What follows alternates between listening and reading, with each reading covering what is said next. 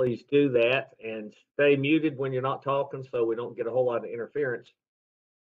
Gosh, the historic challenges keep coming. What about these back-to-back uh, winter storms? Did, did anybody break ice this morning for the livestock besides Charlie? Anybody? Keith, how thick was the ice this morning? Do you know? Keith Harrison, you should know. It's about close to two inches thick. I had to cut it with a shovel, blade of a shovel to get it done. So, It's um, about an inch, an inch thick. uh, Yeah. In Watertown. uh, And we, we, it was, it was an opportunity. yeah, that's for sure. We get so many uh, issues these days. Keith and I call them opportunities to keep keep sane. Um, yeah, so we've got we've got a lot of uh, good updates today. You know, it seems like forever since we've met uh, uh, last. Uh, I continue. There's a lot of big highlights. Uh, you know, we've got a major health update. We're going to have a uh, budget update by Shannon Klanowski, uh, our CFO, and I continue to be impressed with my boss, the governor, on his support for agriculture and forestry, as evidenced by the budget. You know, we're getting a five point five million dollar increase in ag enhancement. Uh, there's a there's five million in there to um, for Wilson County to to get infrastructure to potentially host the state fair. And um, there's some other things too in there that uh, that you'll see as she goes over that, as, as well as uh, a lot of emphasis on uh, maintenance and deferred maintenance that we desperately desperately been needing to do something about in the past years. And then uh, looking forward to Dr. Phil's health update, see how that goes. So uh, we're going a little bit out of order, uh, traditional order. We've got John uh, up first. Uh, in the, the hospitality industry has sure taken this on the chin, and uh, we look forward to hearing from you, John. So go ahead.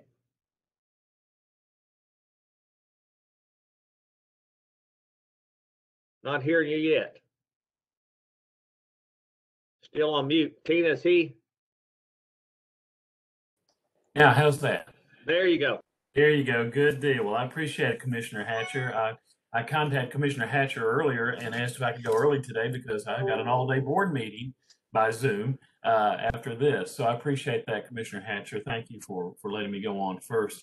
Um, this is this is a time when we've been able to start getting year-end data for 2020 for the industry. And as Commissioner Hatcher mentioned, our industry took it on the chin uh, in 2020, which which is not a surprise.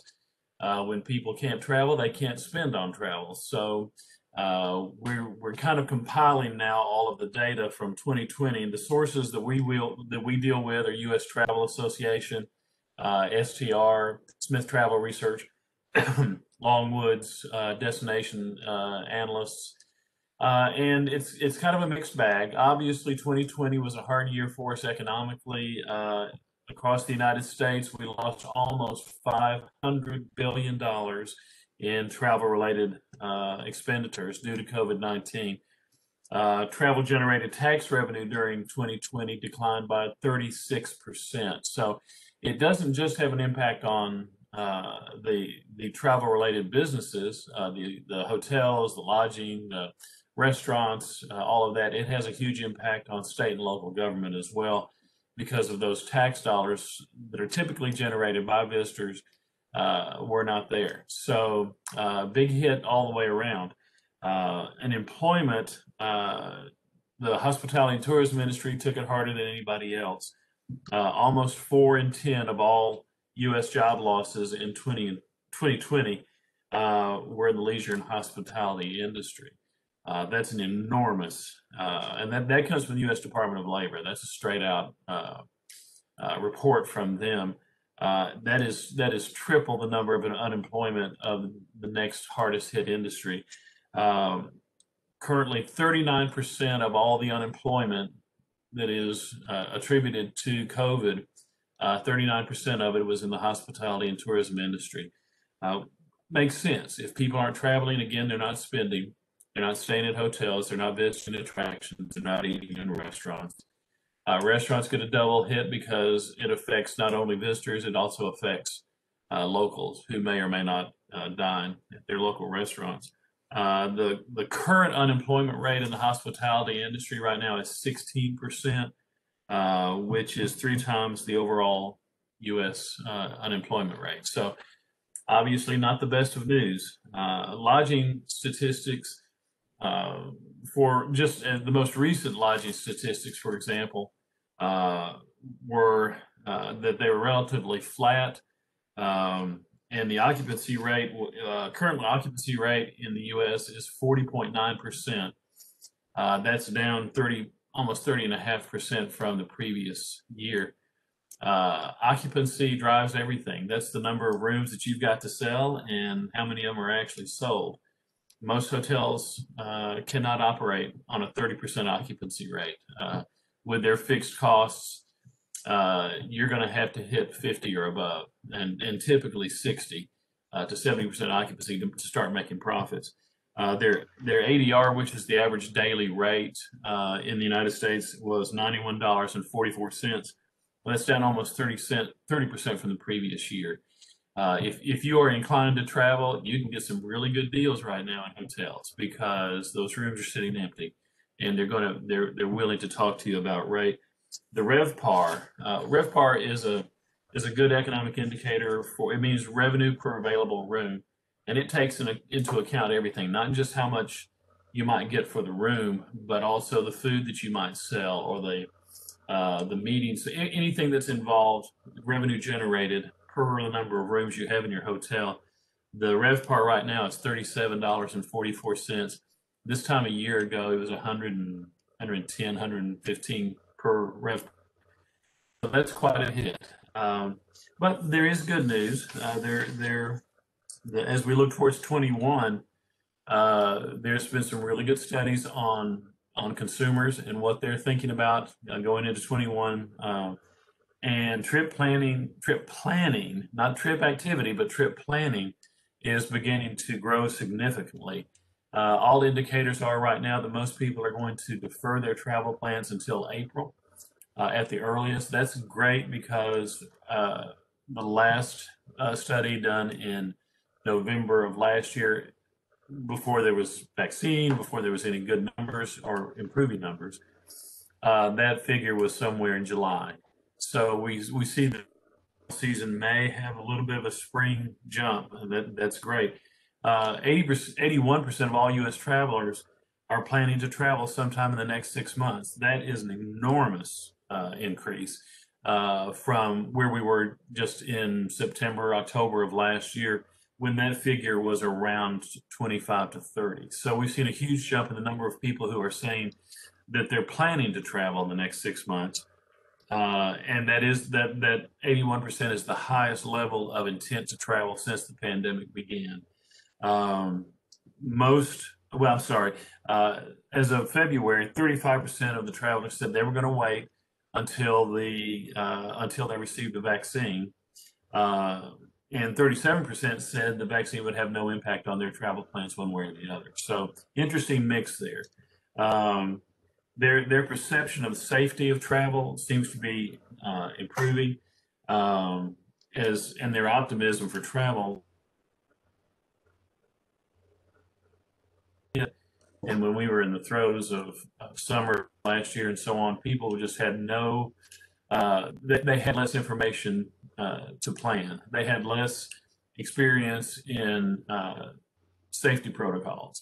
They had less confidence in the travel industry uh, and its ability to provide safe uh, accommodations, safe dining, safe uh, protocols for an attraction. so that perception by consumers is, is increasing. Um, one of the things I thought was really interesting is the travel plans, uh, the highest indicators, things that people want to do right now uh, as they look towards 21 travel. They're looking for scenic beauty, warm weather, outdoor activities, beach destinations, and national parks. Uh, and most plan to travel by car rather than by other means of transportation like air or rail the reason that's really good news is except for the beach, we got it all. Uh, and and and I and I uh, I know Commissioner Ezell well enough to know that if he could do it, he'd he'd he'd move Tennessee to the coast so that we could have the beach too. But but you know when you start talking about scenic beauty, warm weather, outdoor activities, national parks, and the fact that we're a drive destination, those are all very good indicators for Tennessee going into 21. So we're we're we're excited about that. Uh, meetings and conferences are still in the tank. Uh, they just are. Uh, most meeting planners uh, are say they've got requests for proposals out, but fully 85% of them really don't think they're going to have a face-to-face meeting uh, this year, or at least not until third quarter of 21. Uh, so that that puts for for a state like Tennessee, which which has a lot of, of get, receives a lot of value from the meetings, conventions, and events uh, uh, sector of the industry. Um, that's not great news, but it gives us some hope for the fall. Um, and they, it was interesting that that uh, 81% of meeting planners felt that it's going to take until 2023 to get back up to where we were pre pre COVID in terms of the meetings and conference events. At the same time, there are destinations uh, and venues that are starting to book. Uh, the Music City Center, the new Memphis Convention Center, uh, Pigeon Forge has got a number of activities going on at LeConte Center. Uh, Chattanooga is doing the same. So they're starting to, again, it's it's perception on part of the uh, part of the traveling public that not only can you have a meeting, you can have a meeting safely. It's different, but you can do it. Uh, so that's kind of where we are right now in travel. And I'm sure as, as Zach will be talking about in a few minutes, there's an awful lot going on on the national level as well. Um, they're they're very active in terms of travel and tourism right now. Um, we we are very involved in that. As our our association is very involved in that, uh, as is National Rental Association, American Hotel and Lodging, uh, U.S. Travel, uh, all all of the major organizations that we're affiliated with. Uh, we were able to, and we were delighted that Congress passed a restaurant relief bill. Uh, restaurants, uh, probably one of the hardest hit industries of, of all, and uh, the restaurant relief bill will give some direct aid, uh, both financially and uh, in terms of paperwork and everything else, hoops that you have to jump through to get get back on your feet.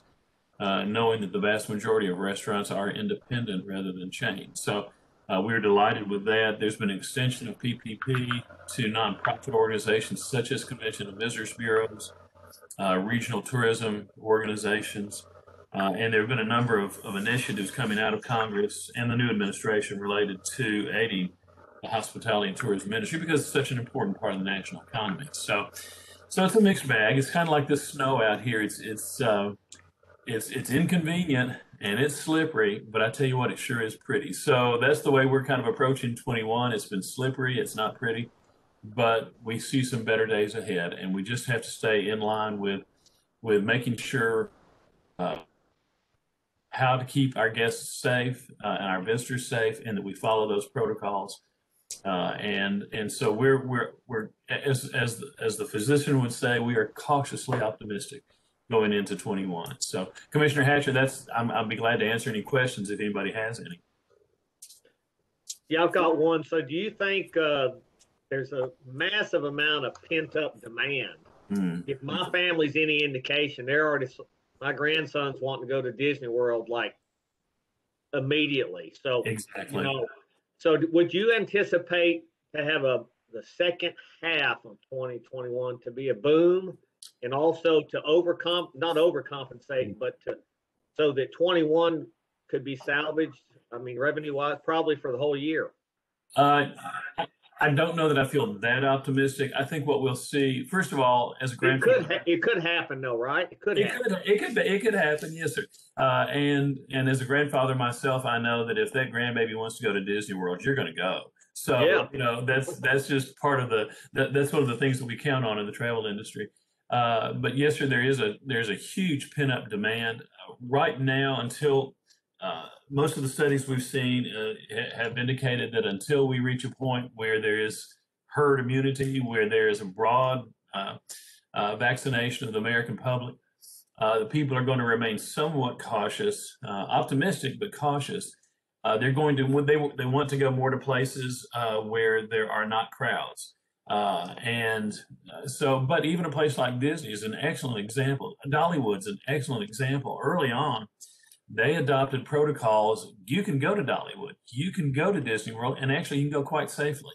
Um, it, it is a perception problem. It is it is in the traveling public's mind. Um, in in Disney, for example, it depends on what market you're talking about. If if you're if if you are you Commissioner Hatcher coming from Nashville, that's not a problem. You get in the car and you drive. Orlando is such a heavily air service uh, destination that people are still a little little cautious about getting on an airplane. So uh, you'll see destinations like Tennessee, which is a drive des- primarily a drive destination that has a lot of those outdoor venues, uh, national parks, um, those those types of things.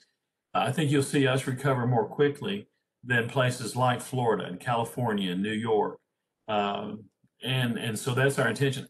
I, I would be optimistic for the third quarter of 21. I think by the time we get to September and October, uh, we'll be in a whole different situation nationally in this pandemic, and uh, that will affect everything, including travel intent. I came to Discovery Park in Union City, Doc. Absolutely. One of the coolest places in this state and probably one of the least known. Uh, we held a, uh, a West Tennessee regional, it was called Tourism Works for West Tennessee.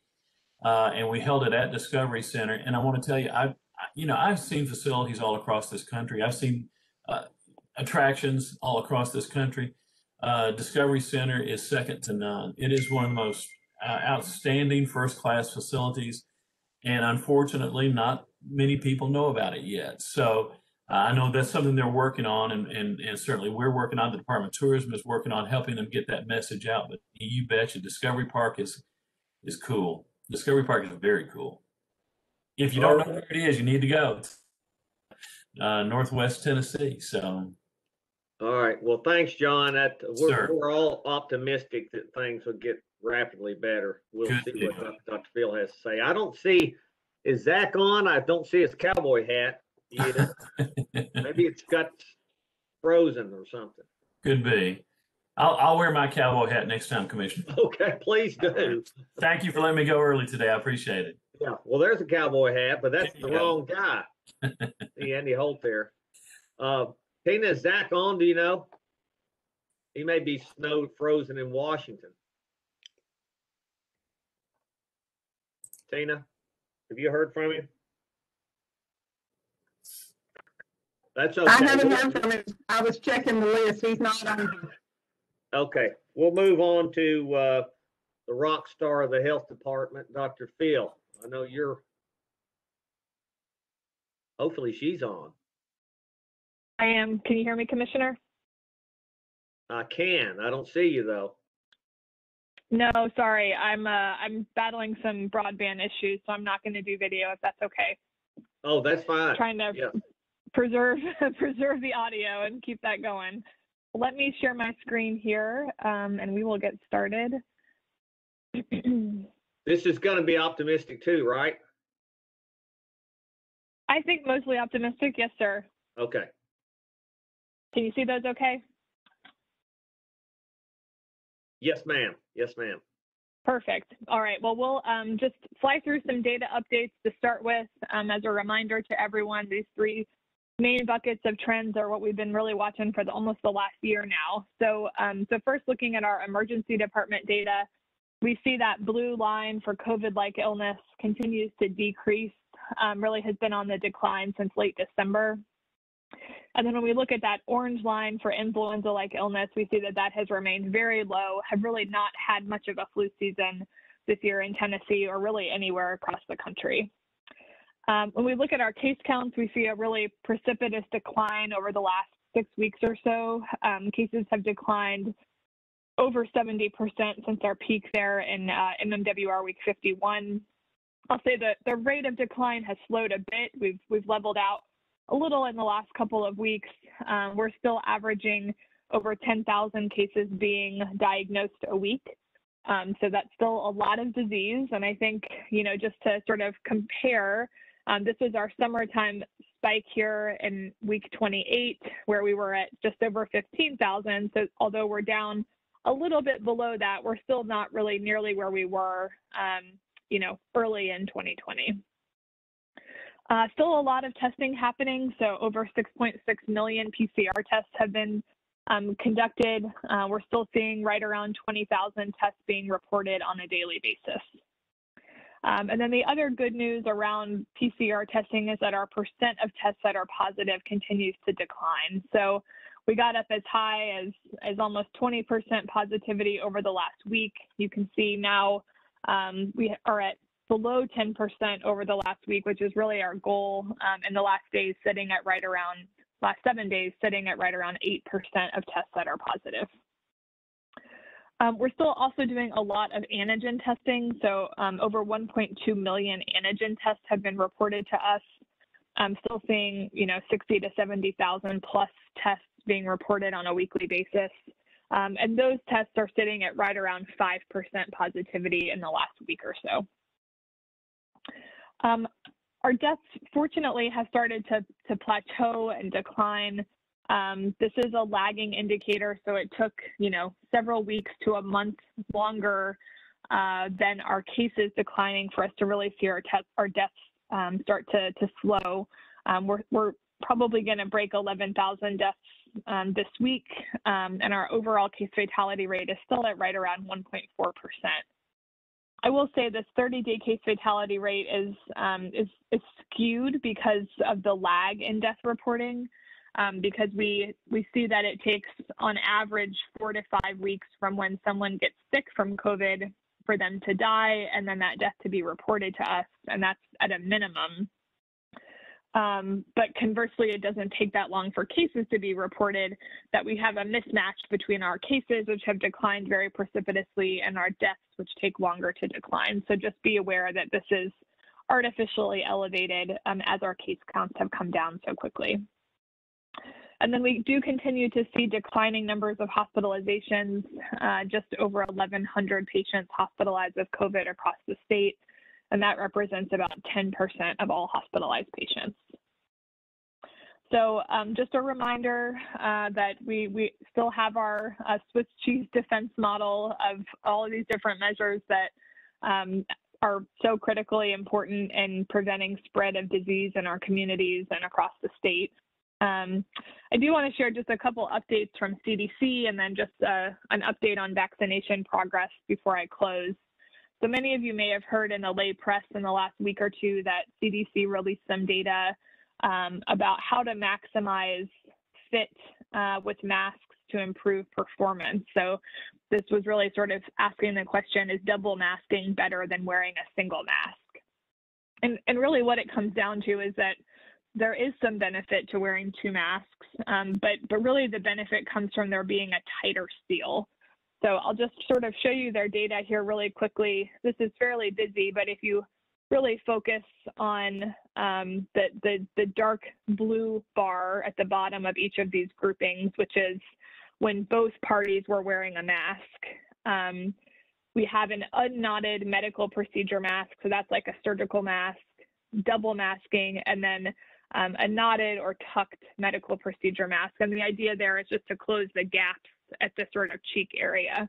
And really just what you see is that there's pretty substantial benefit to double masking or knotting that medical procedure mask, even just compared to wearing an unknotted medical procedure mask. So um, again, just really highlighting that while there's benefit to having material in front of your, your nose and mouth, if there's big gaps in those masks around your cheeks and chin and nose where particles can enter or escape, then it sort of uh, negates some of the benefit, not all, but some of the benefit of, of being masked. So um, just wanted to share that data with the group.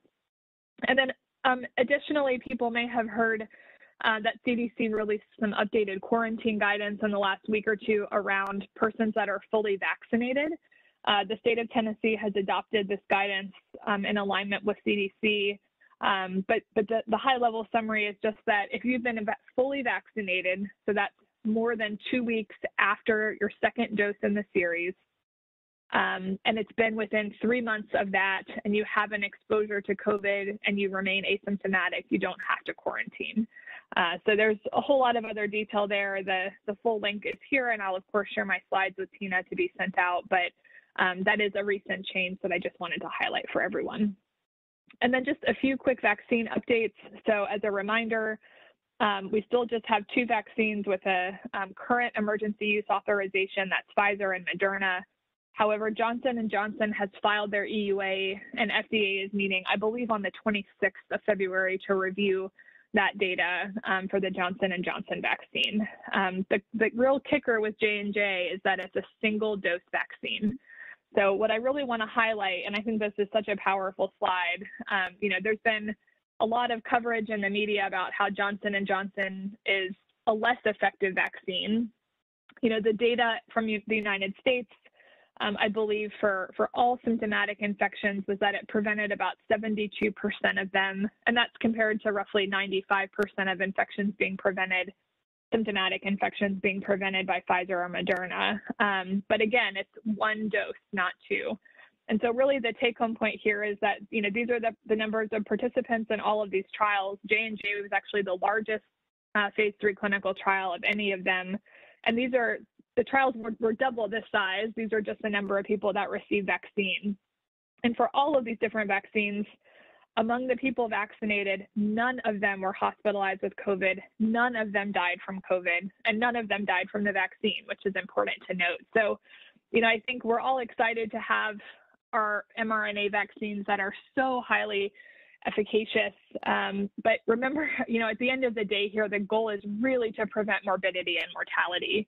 And so if we can keep people out of the hospital and we can keep them dying from dying from COVID, that is hugely important. And so there is absolutely benefit to the Johnson and Johnson vaccine, um, and it is something that um, you know if if it was me or my family and it was a matter of waiting months for another vaccine, I, I would I would be very willing to accept the J and J vaccine, knowing that it's going to keep them out of the hospital and, and protect them from potentially having a very bad outcome. Um, so just a reminder of the, the vaccine allocation phases. Remember, we're doing the simultaneous age-based and risk-based approach. Um, we're at 70 plus in all of our counties now, um, and uh, and certainly in phase 1A2 and in 1B in many counties as well. So I expect there'll be some announcements about timelines for sort of the next group statewide, probably later this week. um, depending on the weather and um, on and state functionality. Um, but but this is the current phases as they exist. And then with regards to how vaccination rollout is going, uh, Tennessee has received about 1.2 million doses of vaccine and has administered um, this weekend we crossed the 1 million um, doses threshold, which is just a huge accomplishment. Um, I can't say enough about our healthcare partners, our local health departments, so many people working incredibly hard um, to get access to uh, vaccine. So you can see here at the bottom, um, 1.026 million doses recorded. Over 10% of our statewide population now has received at least one dose. Um, and you can see, uh, oh, so that that's about you know 700,000 people um, and about 330,000 of them are fully vaccinated, um, have received both doses of vaccine. And then this is just a breakdown of demographics. I think this is helpful. Um, so you can just see again, huge focus on vaccinating the older population. Um, you know, what is that, 48, 49% of all of our doses in the state have been given to persons over the age of 71. Um, so, you know, huge push there, real goal to try to protect that group that is just at such astronomically higher risk of hospitalization and death from COVID. Um, and a lot of focus on, of course, reaching um, vulnerable populations. About, you know, six and a half, seven percent of Tennesseans vaccinated are Black or African American, although they account for, uh, you know, over 15% of our population. So lots of efforts and outreach there to reach groups that are that are high risk. Um, so just sort of a high level overview of the rollout and what that has looked like and what we think that will look like heading into March. So, you know, in December, really vaccine was only positioned in hospitals and health departments. In January, that expanded a bit to include some independent pharmacies um, and some safety net clinics. In February, we expect that that um, that will expand um, to potentially some schools. Um, Walmart has has been activated as a pharmacy partner both at the federal and state level. So there are now hundreds of WalMarts across the state with vaccine access. There's discussion about federal mass vaccination sites, although that's not um, active yet. Uh, uh, FEMA rather, is providing some administrative support at some of our sites across the state, but we're not operating um, a, a, large mass vac site from the federal government and the state yet. Um, and then looking forward, I think continuing to expand lots of ongoing discussions with the Tennessee Board of Regents and others employee health clinics are, are in line to be onboarded um, as we just sort of continue to add to the menu of access options uh, that people have. Um, and just as a reminder, there are a lot of tools available on our website, both for tracking data um, as well as related to vaccine eligibility uh, and the current vaccine phases. Um, we continue to have this map by county that shows the vaccine phase by the risk-based, and if you click the tab at the top, by the age-based strata, um, lots of options to check this progress. Our vaccine data is updated daily now, and then you can see how Tennessee compares to other states um, at the CDC map. Um, I will also just highlight that there's a lot of data on the website around myths and misconceptions. So, um, you know, if you're getting questions from from staff or employees or hearing rumblings of people that are mistrustful of vaccine, there's a lot of, of topics that are addressed um, on the website related to that. Um, and then, of course, finding your phase um, and, and, eligibility tool. Oh, and that's in there twice. Sorry, some duplications there. Um, and then a lot of other resources available. So um, happy to take any questions that folks have, uh, but hopefully that's a helpful update and overview. Thanks, Dr. Phil. I've got a couple just right off top of my head. So what is the, what's the vaccine supply looking like until Johnson Johnson comes aboard? Yeah, so we still don't have great long-term visibility. Um, you know, we're now getting at least three weeks or so of of um, perspective at a time rather than living week to week. So, um, for example, a week or two ago, our allocation increased a little bit, um, and we were told you can expect this to be stable for the next three weeks. Um, and we certainly don't expect that it's going to go down. So we expect to keep seeing increasing supply of the mRNA vaccines, although the degree to which is still unclear, um, especially if, uh, you know, there are some federal um, resources that are mobilized, you know, discussions about, you know, federal vaccination sites across the country. They have to pull a stockpile from somewhere and so, um, you know, there's it sort of remains to be seen how rapidly our supply will escalate, but we expect it to be stable or increasing going forward, even just with the two vaccines that we have now. And then, will when do you expect to be into uh, phase two A? That's sometime off, isn't it? Yeah, you know, I think it's really hard to predict.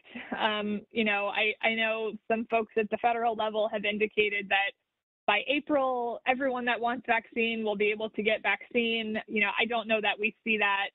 Eh, maybe they have more information than we do, which is certainly possible. But, um, you know, Again, we, we hope to continue to move quickly through the phases. Um, you know, there's been a really big push um, for access and uh, an outreach to the older population in the state. And I think to be frank, you know, we, we want to take our time and be really thorough with that population. I don't know that we will be as, um, I don't know.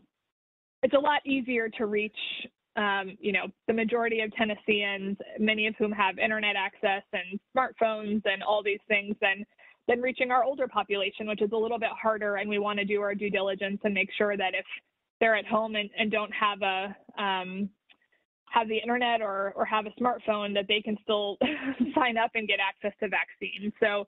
Um, so all that being said, I don't have an exact timeline. I think, um, like I said, there should be an announcement later this week about sort of moving to the next age and risk-based phases, and um, and then I think a lot of it just depends on how quickly that supply increases um, from the federal government. um, versus it staying relatively stable and, and, and how quickly, even if if J&J is approved, um, you know, how quickly that means the supply is available for use. So I still think things are looking optimistic to move very quickly into the spring. Um, but but the next couple of months are still a little bit uncertain um, until we have a better sense about that that timeline. Is it, is it seventy plus in all counties now? Yes, sir. Okay. You know, I've heard all kinds of stories and, and didn't have that good of ex- experience getting my, my own mother-in-law vaccinated, but I guess in, in all Tennessee's done as well as any state really, right? Even I think bumps. so. I think so. I mean, I, I think we've done a really good job about trying to maintain our prioritization. You know, we could we could probably vaccinate more people faster if we just opened up, you know, huge stadium sites in Knoxville and Nashville and Memphis and said best of luck, um, and let you know it be a free for all. Um, but it's it's not just about the numbers; it's about making sure that you're reaching the right people. Um, and so I think we've we've we've really tried to do our due diligence and and prioritize those groups and ensure access to the priority groups.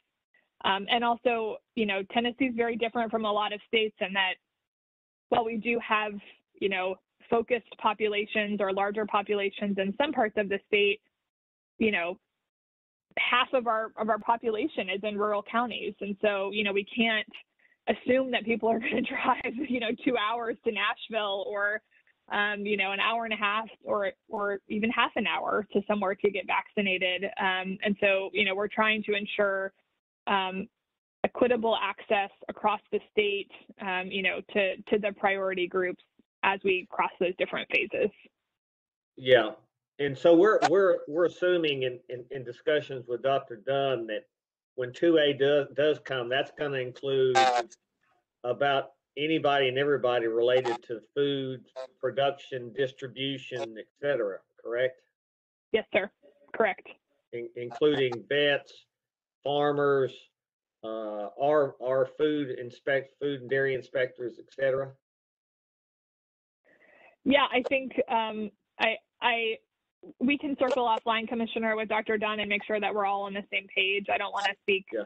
um, out of turn, but um, that's that's my understanding, and I think you know certainly anything touching the the food production industry in any way uh, will fall into that category. Well, they they must be expecting a lot of vaccine to dump. I heard Dr. Fauci say, when and usually pretty conservative. He said by April, Yeah. anybody that might want it could get it potentially. So it's yes, things sir. must change rap. Going to change rapidly. I don't know where all the Yeah, you know, we've heard- yeah, you know, we, we've heard from Pfizer that they're, you know, in the process of, of ramping up and, um, you know, the, the administration secured an additional, I think, 200 million doses, but many of those won't be available until July. So, you know, I think, um, again, the, uh, it's coming. I think just the exact time frame of that is a little bit unclear. Yeah. Yeah. Okay. Dr. right. Wells, yeah, this is Jennifer. I've got a question on as we move into the risk-based phases. What is, what's the requirement, like proving you have pre-existing conditions or proving you're an ag worker who doesn't necessarily have a, like a hospital name ID tag? Yeah, so in general, we haven't had strict require like obviously we it's it's um, sort of good faith. So I, I would say you don't have to bring documentation from your primary care doctor that you have multiple comorbidities. I think having in your brain what those comorbidities are, if, if asked to share, is helpful, but there's no formal documentation required. And similarly, you know, if you have any sort of, I, you know, work badge or something, um, you know, about being an agriculture worker that you could bring, that that could be helpful. But we, in general, we're not turning people away, um, if, and we're not requiring that people meet, you know, strict requirement thresholds. You know, I, I think we also recognize that many people working in agriculture and some of our, you know, processing plants are, um, you know, uh, some of them might not have a driver's license and uh, and so you know we, we don't want that to be a barrier for people to not be vaccinated um, and so you know and the the overarching message from the commissioner down has been uh, you know to, to trust what people are telling you does that mean that some people are abusing the system? Yes, absolutely it does. But we would rather allow some cases of abuse where folks get vaccinated early and, uh, you know, the the worst case scenario is that someone that maybe isn't as high risk is getting a vaccine earlier than they should versus someone that truly is high risk either for bad outcomes or for infection is unable to get vaccinated because they can't meet the proof of of uh, you know of whatever it may be. So so we've erred on the side of just being trusting of people, um, not gaming the system. Although you know we know that that's happening on occasion, but there's no indication that that's a widespread problem. Hey, one, one last question. There, a fella showed up at, at the front door of my office asking for leftover vaccine. Can you, can you tell us what, do they Oh have leftover vaccine at the end of the day? Uh, so, you know, most health departments have a system in place. You know, we're all trying to operate under an appointment system for that very reason. You know, many of these vaccines, Pfizer in particular, but Moderna as well, you know, once you thaw them, you only have a certain amount of time for them to be administered. And so, um, you know, that's that's a large reason why it hasn't just been like a free for all, first come, first serve, is because we really want to know how many people are expected to be vaccinated each day. But there are always people that don't show up or things that happen, especially with the crazy weather of recent. So um, on occasion, uh, you know, there may be vaccine that's left over, but all of our health departments and the metros as well have have systems in place, either sort of lottery systems or or wait lists where they can work off of those to reach people that could be there, you know, within 30 minutes or an hour or whatever the time frame may be uh, to be vaccinated. Um, the, the goal is to stay in phase with those if we can. Um, but if it's, you know, a half a dozen doses at the end of the day, then, you know, we'd rather get that vaccine in someone's arm than it go in the garbage, even if that person isn't currently in phase. Okay, all right, sorry for all the questions. We better move on then. So. No so worries. We're good. Thanks, Commissioner. Thank you so much. Uh, We'll have uh, Shannon Klanowski up next. She's our Assistant Commissioner and Chief Financial Officer, and she's uh, Larry Maxwell's uh, upgraded version. So good to see you this morning, Shannon. Good morning, Commissioner. Can you hear me all right? Yes. Okay. Well, let's go over some of the budget highlights. Um, the governor's budget came out um, with the state of the state. Um, overall, um, I think we've had more revenues than anybody expected, which is great news for the state. Um, but that doesn't mean that we're going to go ahead and spend it like we've got it. Um, the governor's taking a very cautious approach to this, um, which is good. Uh, so that that's kind of the whole theme throughout the budget that's been proposed. Um, we've taken a look at a lot of things that are what we call um, non-recurring items. So things like infrastructure, capital maintenance, um, broadband, kind of a one-time, you pay it once for this year and it does not recur any year thereafter. So we're, we're being very cautious about it. Um, I do want to point out that Tennessee is currently ranked by the US News and World Report as the number one state for fiscal stability. Uh, we are very proud of that. We are fiscally conservative and we hold that near and dear to our hearts. Um, and again, the, the governor's office will tell you this is not the work of just one person. This is the work of all of us collectively. So um, that that's great news for our state, and we have held on to that ranking again this year. Um, this is the largest budget in state history. It's 41.8 billion in total. Uh, we have put 50 million into the rainy day fund, and with a, now a record high of 1.5 billion dollars, and also TennCare reserves are at 500 million. So our state is sitting great financially speaking, um, and we should all be very proud of this. Just a few things to point out from the governor's overall budget before I step into agriculture specific items. Um, the governor has proposed, these are all non-recurring items, so this means just a one-time, um, just this next year kind of a payment, uh, 200 million for broadband to get broadband out to all of our rural communities. The governor recognizes how important this is. There's 800, I'm sorry, 85 million proposed for short line railroad grants. And I know that's very important to agriculture and getting commodities moved. Uh, 95 million in non-recurring to the fast track program in ECD, economic and community development. That'll help getting jobs into our state. Uh, 21.1 million non-recurring for grants and services to assist our rural communities and distressed counties. And then uh, 200 million for local infrastructure grant program um, for governments recovering and rebuilding in response to COVID-19. So there's a lot of money that we're trying to get out into the rural communities and all the communities in our state. Looking at just agriculture um, and our budget, just to kind of paint a picture for you real quick. Our total budget at the Department of Agriculture is $121.5 million this year. It's funded um, by state dollars of 88 million, federal dollars of 14.2 million, and other of 19.1 million. That other consists of current services, interdepartmental, things like that. So, um, like I said, our total is 121.5 million, and we have a staff of 728 employees currently. So as we went through um, agriculture's budget, uh, the reductions that were taken totaled $3.195 million. Um, from our 12% reductions that we proposed, we had a number of reduction proposals going on this year thanks to COVID. Um, we were trying to be very safe and conservative and make sure that we weren't overspending to close the year. So uh, we had about 3 million from that and 152 million, I'm sorry, 152,000 from our 2% reductions. Throughout all of our reductions, I'm not going to go into them in details because there's there's quite a few, but our goal at the department was to make sure that we could maintain our services and operations and not change those. And we feel like we have been able to successfully do this. Um, if you're interested in details of this, you can always reach out and I'll be happy to talk budget with you anytime. Um, but then the cost increases for the department, um, we had $242,000 for a One Health initiative. And I know this is near and dear to Commissioner's heart, uh, making sure that we are monitoring animal diseases that could potentially over to human diseases. So I think COVID is our perfect example right now um, $312,200 for some forestry software for helping to um, track with our firefighting efforts. Um, we also had $5.5 million our ag enhancement program. Um, this is obviously our big, uh, probably most well known department.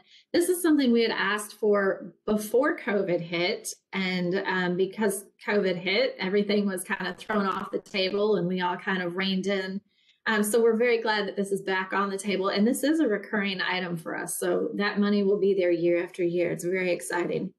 Um, and then there's also 5.25 million for the state fair.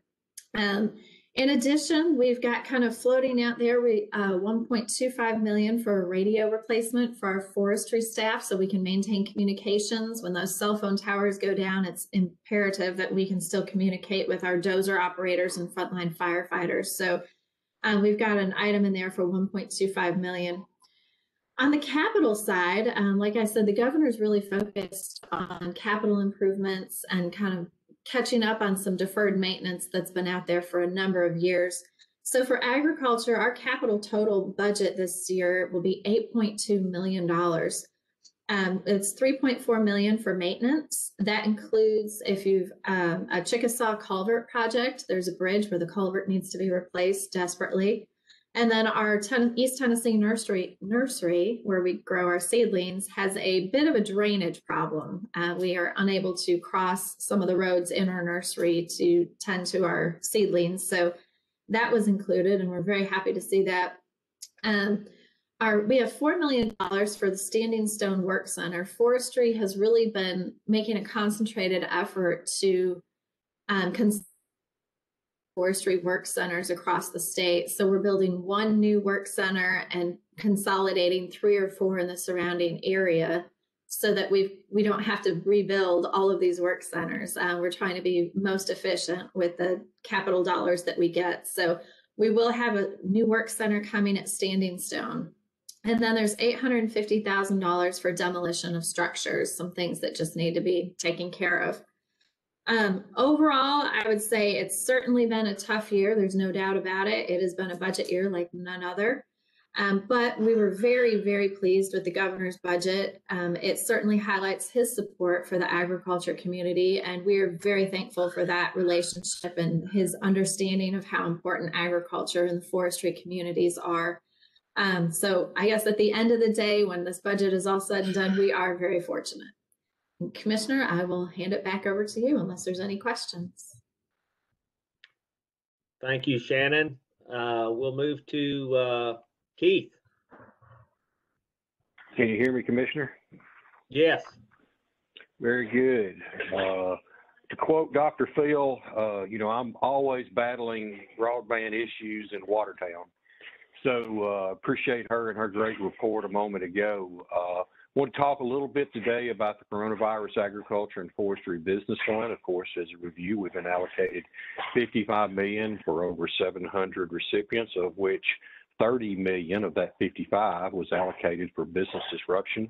Our business consulting team continues to work with Horne and the recipients so that the requests for funds are being processed as quickly as possible.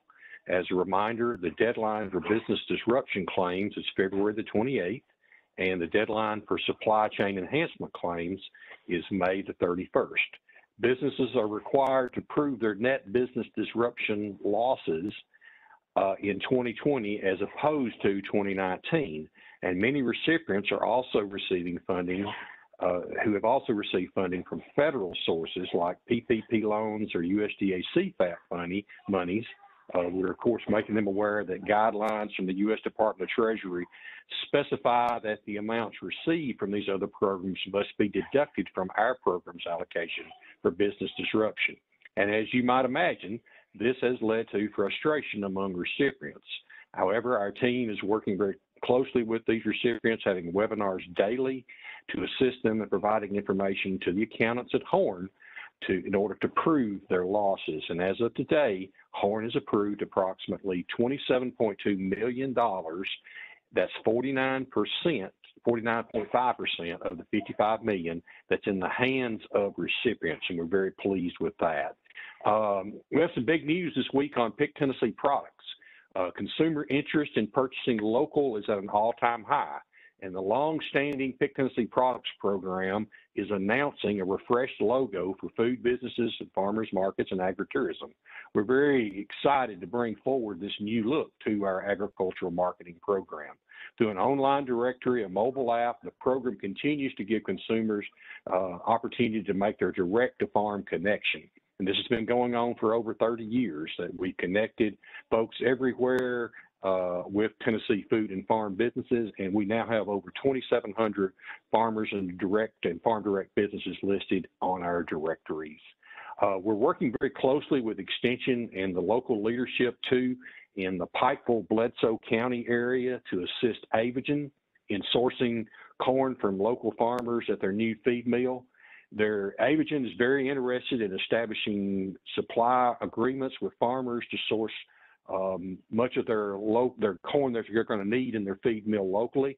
Their preference is to get corn grown as close to the feed mill as possible. However, to accommodate year-round production, they're willing to work with farmers within a reasonable distance of their operation. And uh, they're very interested in working with farmers. They're utilizing irrigation as well as have on-farm on farm uh, storage capacity to accommodate year-round scheduling. And interested farmers, we're having a, uh, a webinar on February the 23rd next week to discuss this further with them and this opportunity. And I want to say a word about the Ag Enhancement Program. Uh, we're approaching our livestock equipment reimbursement deadline of April the 1st. Several producers and equipment uh, retailers have contacted us with back order concerns and just always rest assured that we'll work with farmers to resolve these opportunities. And we encourage farmers, however, not to wait until the last minute to make their purchasing decisions. Remember, used equipment now in ag enhancement has to have an age requirement of 10 years or less and this new rule was recommended by our Ag Enhancement Advisory Committee with the goal of improving the quality of used equipment purchasing purchased under the cost share. We approved 77,326 applications this year. We processed 565 and we've already got 1.4 million out in reimbursed to farmers across the state. And finally, uh, on March the 5th, uh, we're working with several industry partners to put on the Mid-South Agriculture Trade Conference. It'll be a webinar to help inform farmers, agribusiness, and agricultural leaders in Tennessee and the Mid-South about the role and the significance of international trade on local agricultural production markets and economies, and to hopefully increase the awareness of agriculture and forestry exporting tools and resources. I'll be uh, I'll be posting our telephone number of business development here in a moment in the chat. But that's my report, Commissioner, and appreciate the opportunity to be part of this uh, this webinar. Thanks, Keith. I'm looking for uh, Aaron Smith. Aaron, are you on? I am, Commissioner. Can you hear me? I can. I don't know why I didn't see you listed there, but go ahead. Good to have you. All right. Can you see my screen good? Yes, sir. Excellent. Well, I'm going to provide just a quick update on a couple of things, but most of my time I do want to focus on a couple of new um, pieces of information that we've been, been working on, uh, namely feed costs and then looking out towards uh, spring planting for our primary row crops. So when we end up uh, looking, this kind of um, hammers home the point that John made earlier in the call, where we look at our unemployment rate in Tennessee at the end of uh, December, it was estimated at 6.4%. Um, you know, obviously we're still substantially higher than where we were before all of this occurred. Um, and we are lagging a little bit, um, you know, a little bit higher than where we were even back in November. So again, we are uh, uh, at a point where uh, hopefully we can start seeing some movement on that, but a lot of that will be tied to the uh, the hospitality industry as well as uh, as some of the other uh, industries that were hit hardest. When we look at kind of trends in, in in food service and drinking places, unfortunately, the last three months, so October, November, and December, we did see a, a decrease uh, across the U.S. A lot of that is tied to you know additional concerns uh, in in numerous states. Uh, obviously, you know there's been certain states that have had much more um, extensive lockdowns, and that's obviously shown in in kind of regional data. We look quickly at prices, uh, we have seen this is uh, Tennessee weekly weighted average prices for steers and heifers. Uh, multiple weights here where we got uh, price at about 155 uh, for for four or five weights. Um, you know, about 121 for for seven eight weights, and then heifers are, are a little bit lower than that. When we look at uh, hog futures, we've seen a dramatic increase in in prices uh, since uh, the start of the new year. You know, obviously we're we're closely looking at uh, uh, African swine fever and export demand. A big push will be how much China ends up buying.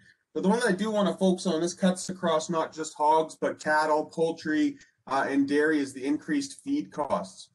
We've seen nearby uh, milk futures kind of hovering around that 16 to 17 dollar range. But this is kind of where we we've seen uh, a dramatic increase on our input costs uh, for livestock production. Corn DDGs up 52% over last year from 160 to 243. This coincides with ethanol production being down 9.3%. And you can see there was uh, this co coinciding uh, decrease in ethanol production and that spike in, in feed, but or in DDG price. But again, what we're looking at is where we're head we're trending in 2021 and these much higher cost structures potentially. When we look at soybean meal price, um, again, what you see is a 45% increase from the same time last year, from 308 to 447. Um, and I have heard a few claims from people about access access and availability issues with soybean meal. So again, that's something that that can be problematic. When we look at uh, cottonseed meal, up 82% compared to last year, you know, up to 460 uh, from 253 compared to the last year. So these rising feed costs, obviously we like to see higher prices, but again, when we have the inputs rising rapidly as well, that can end up tightening those margins substantially.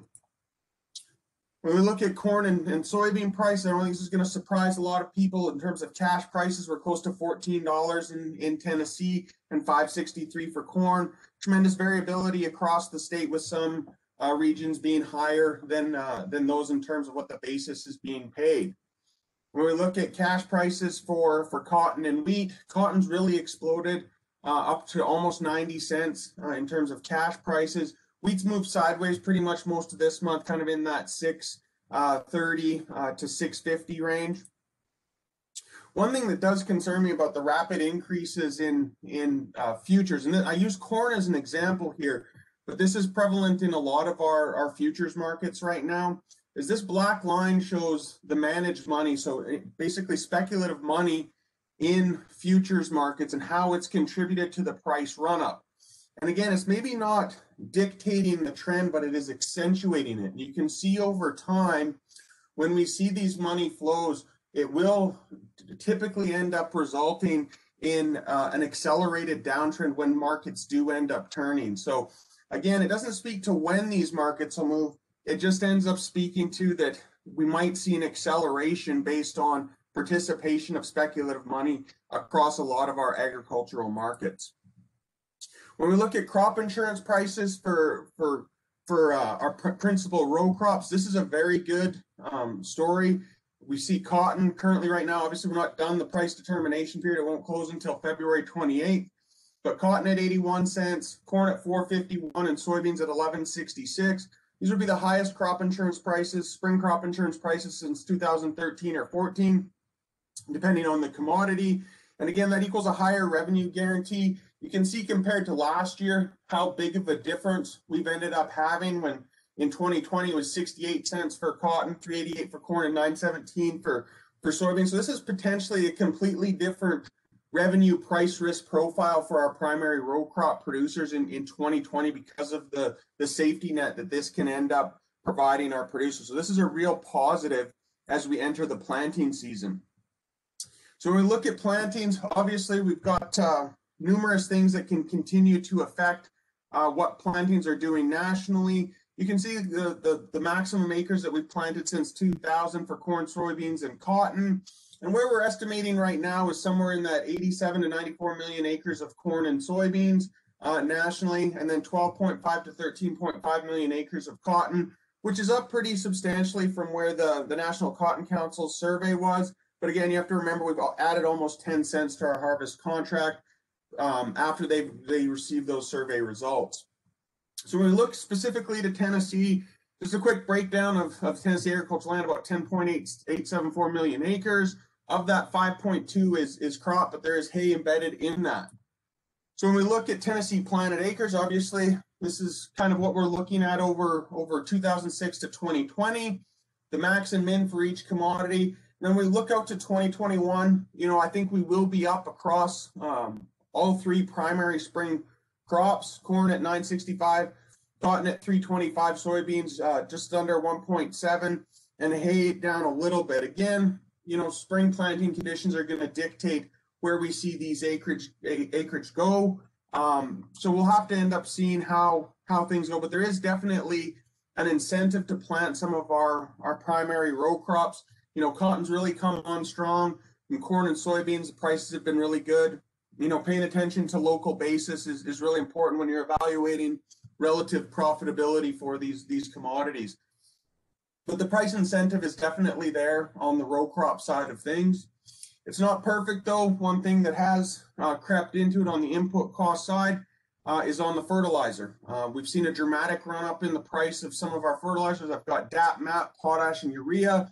You can see over the last two months, we've seen a tremendous increase in what our prices have been uh, for fertilizer. So hopefully uh, people pre-booked or a lot of producers pre-booked some of their, their inputs because we have seen this continue to go up as we've seen the acceleration in commodity prices. When you look at liquid fertilizers, again, we have seen those increases, but not as dramatically as some of our pre-plant and planting products that we're putting down. So just in closing thoughts, um, you know, economic uncertainty in the U.S. and global economies will continue uh, through the end of the second quarter at least, and, and perhaps beyond. Uh, commodity markets are likely to remain volatile early in, in 2021 as we see where planting intentions end up coming out. Um, what ends up happening down in South America is going to dictate uh, some of our prices. And then China, across pretty much all commodities, is that big unknown. I'm very interested to hear uh, some of the speakers at the Mid South Trade um, virtual program because I think there'll be some fantastic insights there that we can end up looking at. Row crop pricing opportunities have been really good uh, so far. And then when we look at uh, livestock and crop inputs, those are up substantially. So again, managing those input costs is going to be critical to profitability as we move through 2021. And I swear I didn't steal this from John, but I will will kind of echo what he said. Overall, for 2021, um, the outlook is cautiously optimistic. There's some some good things happening. There's obviously some some pretty big challenges as well. But uh, at the same time, I think uh, we're positioned reasonably well to have a, a successful 2021. We'll have to see how the, the weather cooperates and how some of the other factors influence uh, the season as we move along. With that, Commissioner, that is all I have. If there's any questions, I'd be happy to entertain them. And as always, we'll distribute these slides uh, so the group can take a look at the numbers. Well, thank you, Dr. Smith. Those feed costs are going to start getting into the pocketbook for those feeding livestock, aren't they? Yeah, they've really moved. Like it's been a pretty big run up. Uh, same with the fertilizer side of things. So again, you know, one thing that we are looking at is kind of obviously supply and demand is playing a, an important role there. But uh, you know, have we seen a, a, a, change in any of the cost structure of the large distributions um, for some of these industries as a result of you know COVID and, and kind of some of the transportation issues? We haven't dug into that, but it's something to worth noting. Okay, thank you much. I see Jeff Aiken. Jeff, you're about as casual as I've ever seen you. What's up with that? We have snow and ice this morning. uh, Does Radonna know you don't have a tie on? I hope not. Good morning, sir, and uh, morning. to everyone on the call. Uh, uh, to follow up on Dr. Smith's comments, uh, we're we're optimistic for 2021 as well. Obviously, uh, for for many reasons, but we'll be celebrating our 100th anniversary at the Farm Bureau, and uh, we're excited over that. And we'll be uh, having celebrations throughout the year to uh, in recognition of that. But uh, I'll be very brief with my report. Uh, just last week, we uh, had the opportunity to present a Kubota tractor to Kerry Robertson, second place winner in the Young Farmer contest last year. And in um, uh, we'll soon be presenting one to Case IH to Hunter and Laura Grills. Uh, I guess I would share with this group if, if you're aware of any uh, deserving young farmers, uh, please uh, send them to their local farm bureau or, or let some of us know applications for this year's contest are due May the 15th, and we'd like to uh, recognize worthy young farmers for, for the impact that they're making. This Friday and Saturday, uh, the Council of Cooperatives will be uh, hosting the Young Leaders Conference uh, in Cool Springs, uh, weather permitting. And uh, I think there's uh, a little over 200 that have registered to come to that. and we'll be following COVID guidelines. But it looks like it should be a good conference if we're able to have it. UT Martin Chancellor uh, Keith Carver is on the program, and uh, I guess the first time that our new extension dean at the University of Tennessee, Dr. Ashley Stokes, will will make a public appearance. She is uh, slated to speak there as well. The other thing that I'll mention, uh, we're having an ag industry partner meeting uh, on February the 25th at the Farm Bureau Expo building in Wilson County, and uh, some of the topics that we expect to discuss there are m- mental health uh, for agriculture folks during COVID, uh, education issues, ag workforce, and ag economy. Commissioner, I'll stop there, but happy to take any questions if anybody has any. Thank you for allowing me to give an update. Yeah, thank you, Jeff. I do see uh, Zach and his cowboy hat on there. Glad you could join us. And it's a good thing you did because Andy Holt was going to try to give your update because he had a cowboy hat on. I don't. It wouldn't have been too good, I wouldn't think. But hi, Commissioner. I, you know, I apologize. I didn't. I didn't think I was going to be able to make the call with Winter Policy Conference coming, but I, I, I called in a few minutes ago and I was like, oh man, I should I should I should hop on and, and try to give you all an update. Um, we're kind of in a crazy holding pattern here uh, because of the impeachment trial now that that is over, uh, we expect uh, Secretary Vilsack will be confirmed uh, really quickly. Um, you know, hopefully as early as um, you know maybe the beginning of next week. Um, and once that happens, there are a lot of budgetary items that are already moving through the reconciliation process. Um, I don't have a lot of uh, inside knowledge currently on the state and local government funding. Um, that's obviously been a bargaining chip um, between the two parties, and I think that's something that we're going to be closely monitoring. Um, we there was some money appropriated, as you guys all know, from uh, the last bill that was passed at the current administration, uh, farmer uh, mental health and especially crop block grant uh, funds that will uh, be going out, and we'll be getting additional guidance on that as well. Um, you know, most of the things that we've seen so far from the administration really focus on climate change. Uh, we've seen a lot of executive orders there.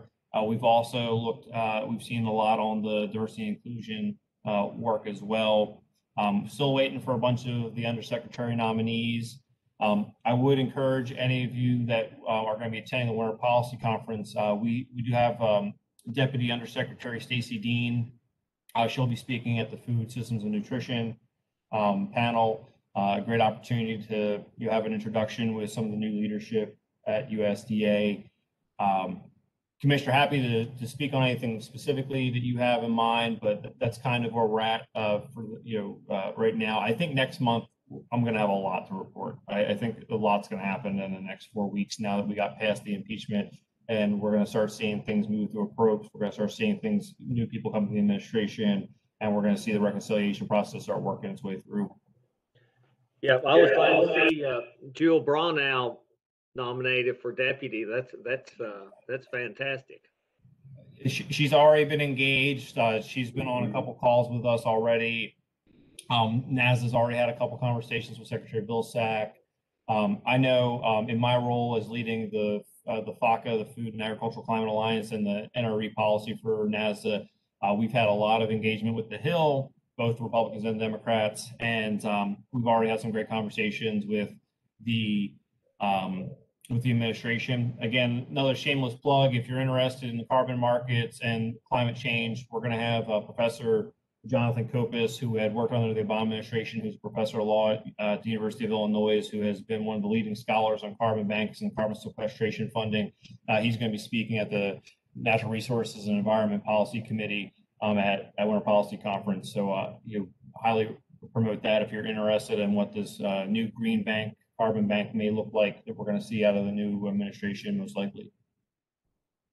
Zach, how many? I had heard that there there's a department wide or I guess administration wide freeze on some program funding. Is that is that true or is that and how long will that last?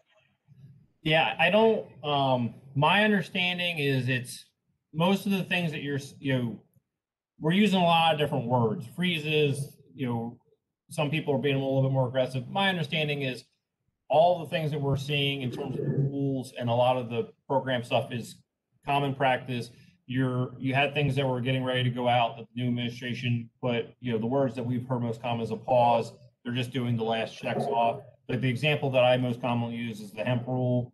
Um, bill richmond was kind enough to do a, um, uh, a briefing for the hemp regulators group and you know uh, they're basically uh, hoping that this is just going to be a check off and the, the, group will get this out. And he will be speaking at our plant and pesticide um, committee meeting at winter policy conference.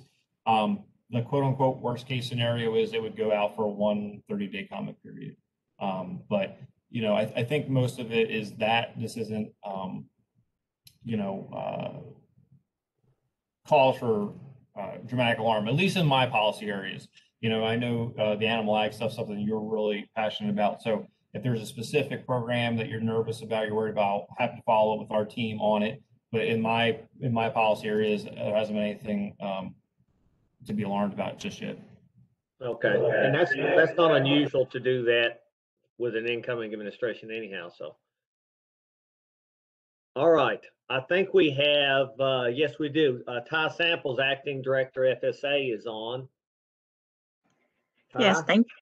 Hi, thank you, Commissioner Hatcher, um, and just wanted to just introduce myself to the group. I'll be serving as the acting state executive director director until such time as a new director is named.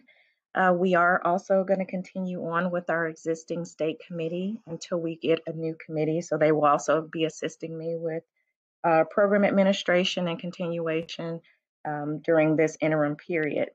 Um, as of right now, our offices are still closed to the public as far as in person visits, but we still remain open across our 59 locations to service our customers uh, via phone or email. They can also drop off uh, paperwork if need be. We've uh, put out a lot of drop boxes on the front door of offices to assist with that process. Uh, we are again awaiting guidance from our department as far as any updates to our office statuses and how we safely open to the public. So more to come in our future meetings. Um, as far as program related information, we're still very busy with multiple signups. Um, our coronavirus food assistance program, also known as CFAP, uh, that deadline is approaching on February 26th. We're still accepting applications. However, due to change in administration, um, there is a regulatory review going on, just a brief pause before payments are released. But again, we are accepting applications through the 26th. Um, as far as our quality, quality loss adjustment program, um, that sign up deadline is coming up on March 5th. And we do have a, a several applications coming through for that as well. Uh, WHIP Plus is currently closed to enrollment, but we do have uh, over 600 applications that we're in the process of reviewing at this time. Um, NAP sales closing dates, uh, we have upcoming for um, vegetable crops. The closing sale date will be March 15th. Uh, grazing and forage just closed yesterday on the 15th. In reference to our conservation reserve program, um, our general sign up deadline has been extended. Um, the deadline was previously scheduled for February 12th, but we've just had an open period where that deadline is now extended, um, hopefully to get some new enrollments there. In reference to ARC PLC, um, that deadline is fastly approaching for March 15th for 2021 enrollment, and that is open for anyone who wants to make an enrollment or an election change and that is required for any um, participation for our 2021 crop programs. Otherwise, um, that's pretty much our updates for program related items, but as you can see, we're still very busy, um, even in this virtual environment, and I'll just open it up if you have any questions, but thank you. We can't see you there. Let me see if I can, oh, I'm sorry about that. Let me see if I can turn my video on here. I'm echoing a little bit. Hey, Ty. Can you see me? Yeah, Dale there you go. Barnett, Tennessee Poultry. Hi. Hey, yeah, thank you for everything. Has, uh, and I may have just missed it. I was trying to multitask there. Uh, has the new deadline been set for the, uh, uh, the CFAP two program that contract growers can sign up for?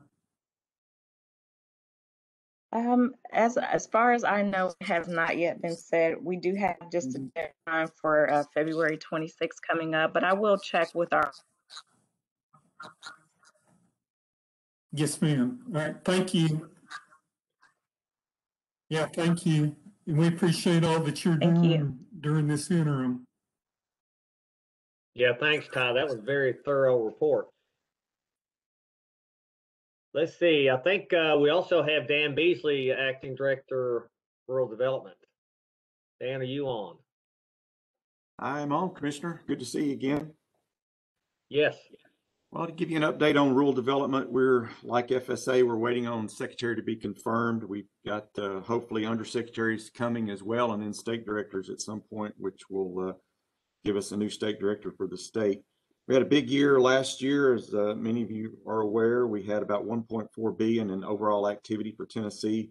Our programs, the three big programs, housing, business, and utilities, uh, looking to be in 21 another big year. Right now, we've we've got about a million dollars that's been obligated so far in the CP program, or community program. That's our utility program. We're expecting about 200 million before the end of the fiscal year. In our um, in our business programs, we, we've, we're off to a real big start there. We've got about 42 million that's been obligated in our guaranteed loans. Uh, that's a, a, significant increase from over last year. We're probably going to have a, a, really large year in that. We've also got uh, the REAP program. That's the, the energy programs where we do a lot of the grant loan funding as it relates to uh, energy projects. Uh, we've got that program this year that's off to a good start as well. Uh, we've got deadlines that are upcoming and that I'll have to get you that information on when that is. But right now it should be probably sometime in early spring. And then the value added grant program, which is another farm related program that we administer, uh, is probably got deadlines coming as well in, in uh, probably early spring. And we'll get you some information on that next report. On our uh, housing side, we're looking again to be a huge year there. We're already almost 400 million in guaranteed housing loans that have been obligated across the state. So we're probably going to be somewhere in the 1.4 to 1.3 billion dollar range again this fiscal year as it relates to our, our housing and, and overall program activity. So only one other thing to pass on the uh, Rural Development Conference that we uh, sponsor in conjunction with TVA and State ECD. Uh, that's been postponed this fiscal year in 21. We'll, we're looking to do spring of 22 now. So that's where we're at on that. And that's all I've got as far as the update is concerned. If you've got any questions, I'll try and get you some answers. Thank you, Dan. And I see Sheldon. Sheldon, you have, you've got a tie, don't you have a tie on? Yeah, Yes, yes, it. sir, Commissioner Hatcher. I- I'll, I'll, uh, looking pull the camera there. down a little bit. Hey, well, thanks for allowing us to be on the call, Commissioner, and, and, and good morning to everyone else who's on the call. Uh, Commissioner, as far as operations, I mean, we're still operating, uh, our offices are closed to the public at this time. The department is, um, working on a new playbook, so they have put a pause on, um, you know, moving offices to various phases right now until we get the new playbook. So, um, so that's kind of where we're at. And we're still functioning as an agency. Um, I would like to provide kind of an update in, uh, far as our NRCS office at national headquarters there in DC. So Terry Cosby, the state conservation Ohio, is is serving as our acting uh, NRCS chief right now. Um, Kevin Norton, as our associate chief NRCS, is now serving as the undersecretary for farm production and- and business conservation, where um, basically the position Bill Northey held uh, previously. And so we have a little bit of change of the guards here. And then also Gail Berry, the deputy state conservationist in California, is also um, serving as the acting associate chief for NRCS. Um, one exciting thing we do have uh, with, with the retirement of Robert Anderson, our state conservation engineer, we do have an acting state conservation engineer that started today. Um, Dan Stageland, he's out of uh, he's a civil engineer out of Madisonville, Kentucky. So um, we're, we're happy to have him on board and kind of help with our engineering efforts here in Tennessee. Um, one big thing that the department and, and our national office is pushing is our conservation planning process. We uh, we have uh, five key national partners that we're working with, as far as our National Association of Conservation District, our conservation state agencies, our our National District Employees Association, also our National uh, Resource Conservation Development. And the focus is is trying to reinvigorate conservation planning by enhancing and strengthening effectiveness of planning and also our partnership workforce. And this planning, conservation planning is our roadmap. It's a nine-step planning process as we work with our producers across Tennessee and also allows, uh, you know, further when we have a great plan and we're able to address those resource concerns, lead into uh, a potential uh, farm bill contract. So um, soon our, our, our conservation uh, leaders, ag leaders across Tennessee will meet here soon to kind of talk about an action plan that we'll have to submit to our, our national office. So uh, just we'll keep you informed on that. We do have um, uh, John uh, McClurkin as part of that team as well, too, Commissioner. Um, far as um, field work, we continue to do our field work. Um, we have processed a little over 2,800 uh, payments for about $21 million. Our Environmental Incentive Program uh, funding for FY21 is, is about uh, 27.2 million. We'll have an opportunity to request additional funds uh, in the near future. We are excited about a new joint uh, landscape restoration partnership that we have in East Tennessee um, as far as looking at uh, at-risk species. And so that funding we received was a little over $700,000. So excited about that. And then also uh, a new program that we're going to be working on is the EQIP Conservation uh, Incentive Contracts. And the purpose of this program is kind of to provide stewardship opportunities for producers through EQIP based on addressing at least one priority resource concern and an identified watershed. So it allows the producer to implement elements uh, similar to the conservation stewardship program on a small scale, payments for adopting conservation practices, and also payments for managing and maintaining and also improving incentive practices. So uh, each state were to set aside about 5% of their funding um, or 200,000, whichever is greater, but Tennessee is going to set aside about 1.2 million for this new program. Um, one thing I'll announce, uh, our competitive funding agreement state for our state uh, competitive funding announcements. We're looking at announcing that in March, and we're going to focus on urban uh, conservation projects such as pollinators, community gardens, um, and then also the other the other uh, announcement. We're going to focus on uh, priority resource concerns that we'll address here in Tennessee. So all those opportunities will be posted on grants.gov website. And uh, and we're also working on funding, um, finishing our obligations for our FY21 Conservation Stewardship Program renewal application. We did request some additional funds from our national office, and we were able to receive that and, and finish funding our our Conservation Stewardship Program renewal application. So finally, Commissioner, we are working on direct hire. Um, we have 17 positions. We have made selections on about nine of those positions, entry level positions, to try to increase our workforce and also build capacity within USDA. So, Commissioner, that concludes my report. Appreciate the opportunity to give an NRCS update. Thanks, Sheldon. You got a lot of stuff going on. So, uh, Scott, I see you're on there, sir. Good good morning, everybody. Uh, I'll be brief as well. Uh, we continue to work through a lot of issues. Of course, remote working for the most part is, is where we are an extension at this point. Uh, most of our counties remain in what we're calling the alternative phase, essentially through appointments, and uh, that's just as as a result of what happened over the holidays and the COVID nineteen. Probably our biggest challenge, and I think Mr. Crow's on the call, is probably 4-H camps and trying to figure out how we can have them this spring. Uh, there's really a lot of revenue that was lost through the lack of camps last year. And uh, we're, we're trying to, to work through the issues as best as we can and perhaps provide some day camps. Uh, Justin and his team's been working really hard on that. And I think that uh, probably around uh, on around March 1st, they'll try to figure out what can be done at that point. Um, a lot of virtual meetings that we're going through. Uh, of course, a grain conference that we had here uh, not long ago uh, is one example of a lot of those things that have just simply had to be virtual. Uh, a couple of announcements, I guess. Dr. John, Janet Fox started as department head and assistant dean for Family and Consumer Sciences 1st uh, of February. And so she's replaced uh, Dr. Devereaux, who did a great job for us in the interim. And of course, uh, Mr. Aiken mentioned Dr. Ashley Stokes, and she'll be starting on Monday so uh, unless you guys need a, an update from a plant sciences department head, I guess this will probably be my last meeting with y'all. But uh, I want to say thank you for the opportunity and uh, really enjoyed getting on with y'all. Thanks, Scott. It's been great working with you, and and you've done a great job as as interim dean. So much appreciated. Thanks. I believe uh, Jimmy Ogilvy is on we hadn't had an uh, update from the co-op in a long time, and they've got a big one, I think. Morning, Dr. Hatcher. Can you hear me okay?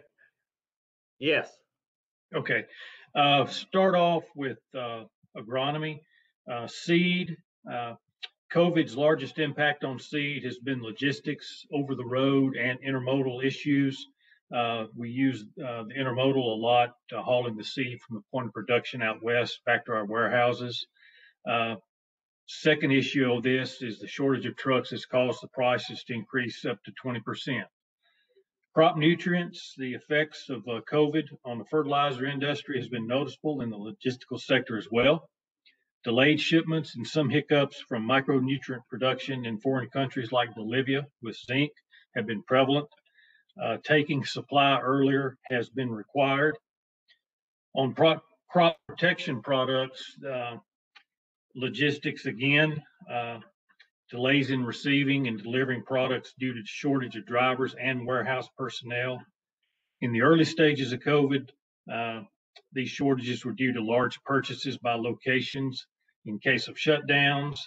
Uh, supply from the vendors has, has thus been stable since then. Uh, the shortages we're uh, facing now are due to uh, issues outside of COVID. On farm hardware, uh, steel prices has drastically increased in the past few months. Scrap has been at near all-time highs. One U.S. mill reportedly had a major fire, which has limited production. Supply issues of raw steel, along with the higher prices, has caused a 10 to 30 percent increase in wholesale and retail pricing. Lead times has gone out anywhere from six to 20 weeks. We have one vendor whose lead time is out 16 to 18 months. And as Keith uh, alluded to, uh, this will have an impact on TAEP reimbursements. Uh, if it's not on the lot, uh, people will either not buy or will just have to file an extension. So we're uh, working with them on that. Resin prices as well are beginning to rise. Uh, resin is used in a lot of the uh, Ritchie and, and Miraco waterers, uh, as well as uh, polytwines. So uh, they're they're getting on the game as well. Feed beyond the typical ingredient shortage during the holidays of both products and trucks to deliver. Uh, we experienced a much increased issue from Thanksgiving through the end of January. Uh, a lot of that can be tied back to COVID related issues of manufacturing changes, tied back to restaurant and school lunches for breads and other products. Uh, rise in corn and soybean prices tied back to increased export orders has helped trigger a huge increase in prices. Uh, seen considerable increase prices in soybean meal, cottonseed meal, and gluten. These prices are really impacting the dairymen. Uh, it's also going to make some beef producers rethink their calf crop marketing strategy for the year, as well as herd culling and heifer replacement goals. Just a lot of uncertainty to the short and long range impact. In animal health, we're experiencing an above normal orders of back orders on key products. Some of this is tied back to production capabilities, reduction, and in some arenas, belief that capacity have shifted to production of the corona vaccine. That's all from Tennessee Farmers today. Thanks, Jimmy. Is there any other comments or questions for the good of the order?